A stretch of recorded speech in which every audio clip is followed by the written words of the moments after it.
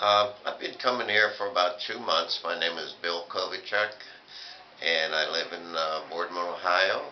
And uh, first time I saw his page or his uh, advertisement, and plus one on TV, and I says, uh, especially for this neuropathy that I have. I mean, it was terrible.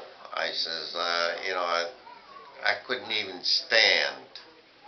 You know what I mean? Stand there and I'd like fall over.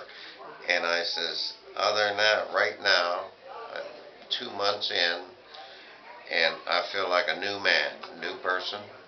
I'm serious. I, I'm, I'd do anything, you know, to get rid of this. And he's doing a fantastic job on me.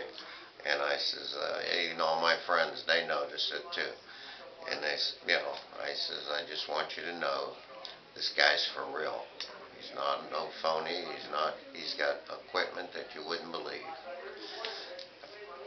Thank you for listening to me.